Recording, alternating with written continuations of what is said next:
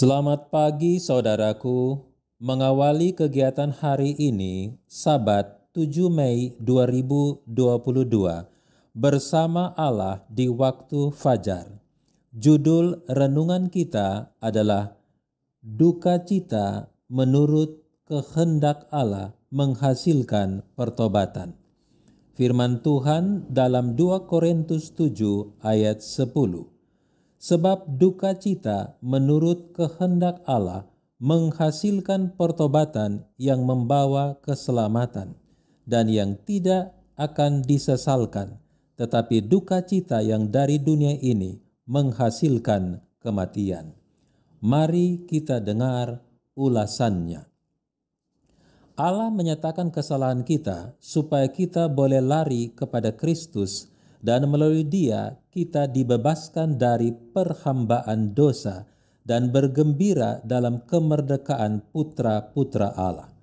Dalam penyesalan yang benar, kita boleh datang ke bawah salib itu dan di situlah kita tinggalkan beban kita. Cobaan-cobaan hidup adalah alat-alat Allah untuk membersihkan kotoran-kotoran dan kekasaran-kekasaran dari tabiat kita. Penebangan, pembentukan, pemahatan, pemolesan, pemelituran adalah suatu proses yang menyakitkan, sukar untuk ditekan ke roda asahan, tetapi batu itu dipersiapkan untuk mengisi tempatnya dalam bait suci surga. Kepada bahan yang tidak berguna, Tuhan tidak melakukan pekerjaan yang demikian hati-hati dan teliti, hanya batu-batu berharganya yang dipoles agar dapat membentuk sebuah istana. Saudara Tuhan akan bekerja untuk semua orang yang menaruh kepercayaannya kepadanya. Kemenangan-kemenangan berharga akan diperoleh orang-orang yang setia. Pelajaran-pelajaran berharga akan dipelajari pengalaman-pengalaman berharga akan diperoleh. Saudara, Kristus adalah penebus yang simpati dan berbelas kasihan. Dengan kekuatannya ia menyanggupkan pria dan wanita menjadi kuat untuk melawan kejahatan. Saat orang berdosa melihat dosa, hal itu menjadi sangat mengerikan baginya.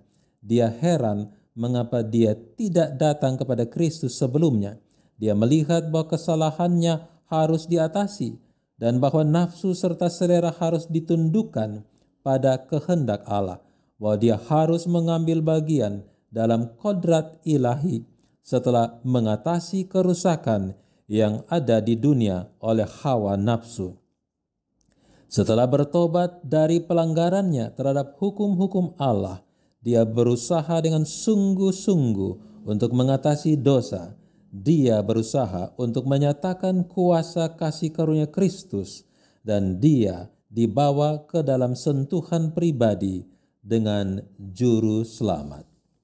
Inti perenungan adalah kita sedang dibentuk menjadi harta berharga di mata Tuhan. Cobaan menyakitkan, tetapi diizinkan Bapa agar kita tetap memandang pada salib Golgota agar kekuatan kuasa ilahi menyelamatkan kita. Mari kita berdoa.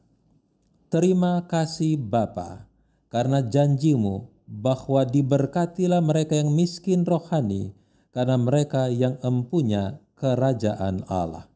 Terima kasih untuk pertolonganmu yang datang tepat waktu dan yang menyanggupkan kami berjalan melalui kekelaman malam tetapi menuju terang Tuhan yang menyelamatkan. Bapa berkatilah kami dan jadilah kehendakmu dalam nama Yesus Kristus. Amin.